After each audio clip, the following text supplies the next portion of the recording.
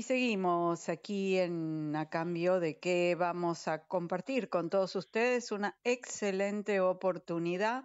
Nos llegó la información de que Banco Galicia otorga 1.500 becas a estudiantes del CBC.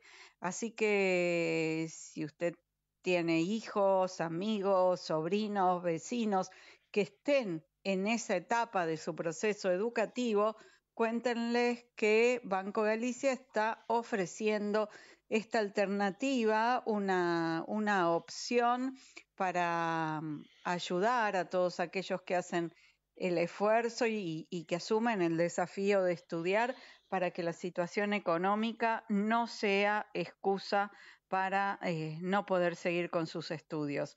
Para profundizar en el tema y saber cómo es el mecanismo para poder acceder a estas becas y, quiénes podrían aplicar, está con nosotros Ignacio Dupuy, que es coordinador del programa de articulación público-privado del equipo de sustentabilidad de Banco Galicia. ¿Qué tal, Ignacio? Un gusto tenerte aquí y más todavía para hablar de esta alternativa que es tan beneficiosa para, para tanta gente. Laura, sí, bueno, muchas gracias por el llamado. No, al contrario. Bueno, contanos, ¿cómo es que ustedes deciden eh, destinar 90 millones de pesos para 1.500 becas que anualmente eh, representan un monto de 60 mil pesos cada una? Exactamente, exactamente. Bueno, un poco el marco es que eh, el Banco Galicia es agente financiero de la Universidad de Buenos Aires eh, hace muy poco, hace unos meses, entonces, eh, como socios estratégicos, decidimos invertir fuertemente en la educación de los jóvenes de Argentina, como venimos haciendo hace ya más de 15 años.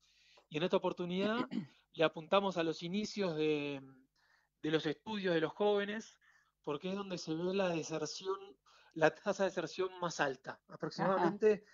el 40% de los jóvenes abandona en los primeros años. Entonces, eh, como foco estratégico dijimos, bueno, eh, bequemos eh, el principio, ya que una de las principales causas de abandono de la universidad eh, son temas económicos, por supuesto que no es la única causa, pero, pero es una de las principales. Entonces decidimos, bueno, aportar, como vos bien decías, eh, invertir 90 millones de pesos en 1.500 becas para 1.500 estudiantes de la UBA eh, como bien decía vos, es una beca de 60 mil pesos anuales que se da en dos cuotas, digamos, la primera es de 20 mil y la segunda de 60 mil. De 40. La, segun, la, segunda 40 mil, perdón, uh -huh. y está atada a, a, bueno, un compromiso académico que, que el estudiante este, apruebe dos materias del ciclo común básico. Ajá, bien, bien. No es mucho dinero, pero les cubre los viáticos a todos.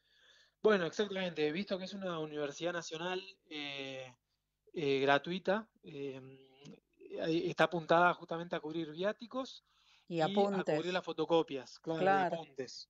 Un poco el uh -huh. propósito es, es, brindar oportunidades de desarrollo a los jóvenes con talento, pero sin recursos económicos. Uh -huh. este, quizás la, la forma de, de elegir estudiantes que tuvimos, pues como bien sabrás, eh, más de 53.000 personas se, se, inscriben al CBC por año. Bueno, este, año, hay años que, que, fue un poco más, un poco menos, pero aproximadamente entre 50.000 y 60.000 se inscriben año a año. Y cruzando el CBC son 100.000 aproximadamente por, por, por, bueno, por atrasos y qué sé yo. Eh, entonces, la forma de priorizar estas 1.500 becas fueron básicamente cuatro o cinco puntos que nosotros creemos eh, importantes. Uno es eh, sí. si, si, estudia y trabaja, o sea, si además de estudiar eh, el joven tiene un trabajo, que eso sabemos que eh, se traduce en menos horas de estudio, en mucho más esfuerzo.